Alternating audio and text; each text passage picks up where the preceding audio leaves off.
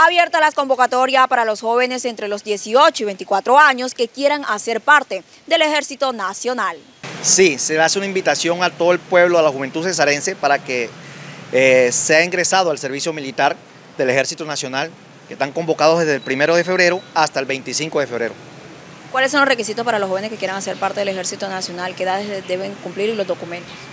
Bueno, todo inicia un proceso. Inicialmente que sea ciudadano colombiano. Segundo, de que al iniciar el proceso eh, todos los exámenes médicos y la actitud psicofísica estén en perfecto estado para que pueda pertenecer a la institución. La edad eh, tiene que requerir de 18 a 24 años de edad. De pronto, eh, ¿qué exigen también aparte de los estudios académicos? ¿Cuáles son los beneficios que, de los jóvenes que quieran hacer parte del Ejército Nacional? Bueno, beneficios. Eh, el, soldado, el soldado que se incorpora al Ejército Nacional, el servicio va de 18 meses. Pero aquel que haya cursado el bachiller tiene la oportunidad de que su servicio militar no se extienda hasta los 18 meses, sino hasta un año como tal. El salario, el- de pronto, ¿qué- ¿qué cumplimientos? Aparte de tener, digamos, la libreta de primera por parte del Ejército Nacional, ¿cuáles de otros beneficios también pueden adquirir los jóvenes?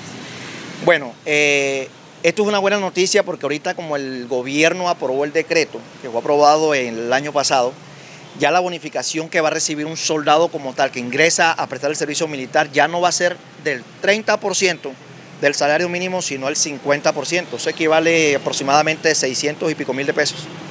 ¿Dónde van a ser, digamos, digamos la- el punto para que las personas quieran de pronto eh, pres- presentarse?